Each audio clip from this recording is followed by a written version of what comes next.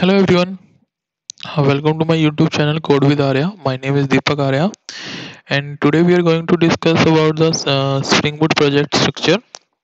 Okay, uh, in our previous video, we have created one Spring Boot uh, web application uh, just for a Hello World controller. Okay, uh, in this video, we are going to discuss the project structure of that project in detail. So stay tuned. Like, uh, yeah,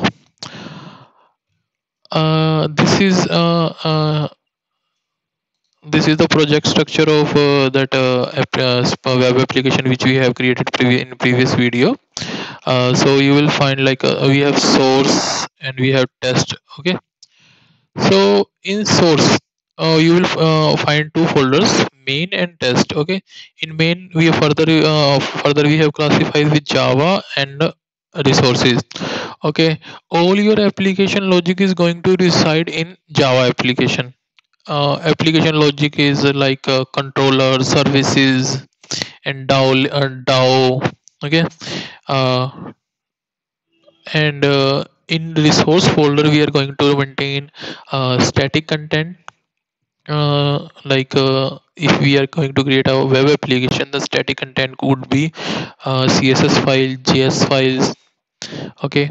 And in templates we are going to maintain like html files. And in application dot property we are going to write the configurations for our application okay?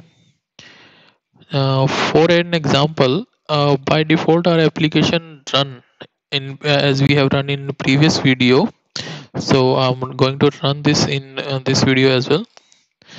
So just for now i'll run this project. So you will see that uh, our application runs on 8080 okay? Let me show you this one.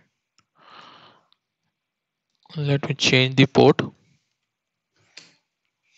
Okay? It's running 8080 so uh, i want to change this configuration and i want to run this uh, on 8000 port okay? So how how would i so for that i need to change this configuration. So for that configuration reside in application dot property let me change this. 8000 okay and i let me restart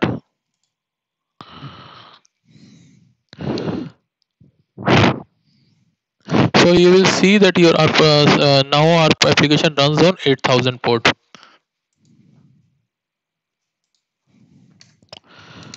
Okay it's working fine on 8000 and it's not working on 8000 8080 okay good.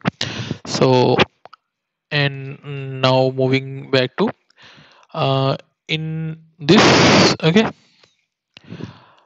it's working uh, uh, and uh, now coming to the test uh, test cases part we are going to write all the test cases in this test test folder.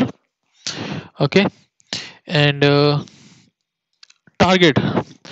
So uh, whenever I build our project okay so you uh, are aware like uh, uh, we are build our uh, uh, java application into jar and wars okay? So whatever the jars and wars will reside in this target folder okay? Uh, for just for your better understanding i'm building this project. So you will see what changes has done in target folder. So i build this project. So you will see that uh, that uh, arya.jar is uh, uh, created by build maven build and uh, it come under this target folder. So all that build related stuff so will come here okay? And test related here and okay. Now one more thing that i want to explain that the uh, uh, this the main class okay? Uh, for currently you won't be able to understand like uh, uh, that what what this annotation is. So don't worry. You don't have to uh, juggle in that uh, thing that what this annotation means. So for just for just uh, i'm going to explain these all things in upcoming video. For uh, now you just need to understand this is an bootstrap class. Whenever you run a your spring boot application this is going to be your entry point. Okay so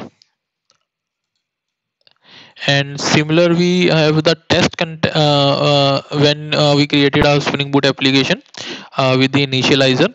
So it create a test file as well. So our test case is going to be here and uh, it's uh, this annotation is going to load the test context. So okay. So, okay. And then it's going to run the test cases uh, we will uh, write test cases in upcoming coming videos so don't worry about that.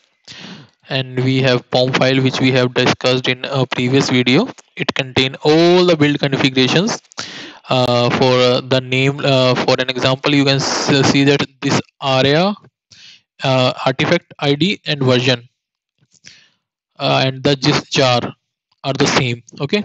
So this will contain all the build configuration and reporting and etc so don't worry about that. We will going to discuss this in uh, detail upcoming videos. Okay? Thanks thanks for watching